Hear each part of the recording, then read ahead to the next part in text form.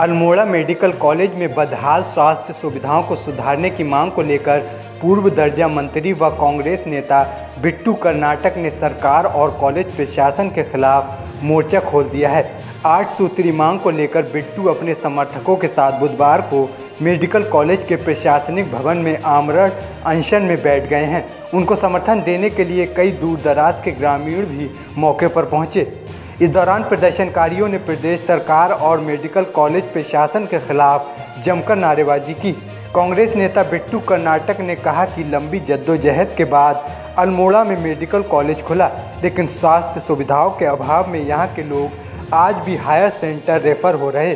विशेषज्ञ चिकित्सकों के अभाव में अस्पताल में जटिल ऑपरेशन नहीं हो पा रहे हैं।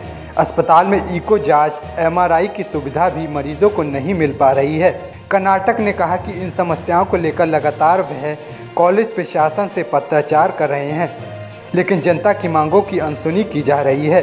वहीं मेडिकल कॉलेज के प्राचार्य डॉक्टर सीपी भैसोड़ा ने कहा कि मेडिकल कॉलेज में अस्पताल की व्यवस्थाओं को लगातार सुधारने का काम किया जा रहा है। जल्द ही यहाँ पर एमआरआई सुविधा व जटिल ऑपरेशन होने शुरू हो जाएँगे।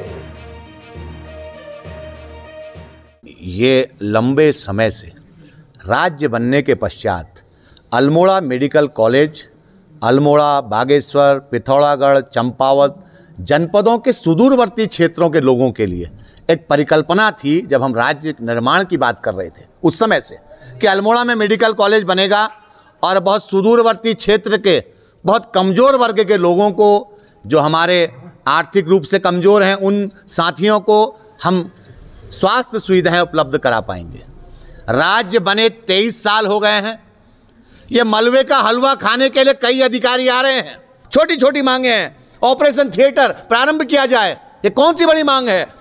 आईसीयू, एनआईसीयू प्रारंभ किया जाए। एमआरआई मशीन को जल्दी से जल्दी स्थापित करके काम किया जाए। हमने कहा, इको जाँच की जाए, लोगों की इको जाँच नहीं हो पा रही है, जो हृदय रोग से परेशान है। हमने कहा ऑक्सीजन प्लांट को तत्काल प्रारंभ कर दो। हमने कहा, चिकित्सकीय उपकरण तत्काल यहाँ पर क्रय किए जाने चाहिए और उनको उपलब्ध होने चाहिए। हमने कहा, विशेषज्ञ चिकित्सकों की तत्काल यहाँ पर नियुक्ति होनी चाहिए। हमने कहा ब्लड बैंक शुरू होना चाहिए। और हमने ये भी कहा था कि जो 12 चिकित्सकों के स्थानांतरण हुए हैं, उन्हें तत्काल प्रभाव से रोका जाना चाहिए। लेकिन दुर्भाग्य की बात है कि हमारे, चाहे वो सरकार के नुमाइंदे हों चाहे हमारे प्रशासन, शासन के नुमाइंदे हों, चाहे स्वास्थ्य महकमे के नुमाइंदे हों, वो इस बात को नहीं सुन रहे हैं। उन्होंने ये दिया हुआ है कि आईसीयू क्यों नहीं चल रहे हैं करके। आईसीयू ऑलरेडी हमारी जो है फंक्शनिंग है।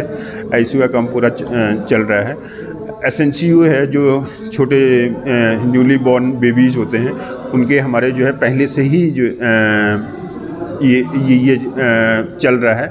और बाकी जैसे ऑपरेशन का एक ये है, ऑपरेशन में जो है हम लोगों के सिर्फ़ सर्जरी विभाग और ऑर्थो विभाग के जो मेजर ऑपरेशन हैं और जो सीरियस पेशेंट हैं, उन्हीं के ऑपरेशन नहीं हो रहे बाकी हमारे सारे ऑपरेशन जो है प्रॉपर हो रहे हैं और एक हमारी जो नई ओटी है ओटी हमारी कंप्लीट हो गई है और जो मेन की ये है तो हम फ़र्स्ट अप्रैल से जो है, अप्रैल से जो है वो भी स्टार्ट कर देंगे। श्रीनगर मेडिकल कॉलेज और इसका एक ही दिन इनाग्रेशन हुआ था। फिर कुछ विषम परिस्थितियाँ ऐसी रही यहाँ पे कि ये स्टार्ट नहीं नहीं हो पाया।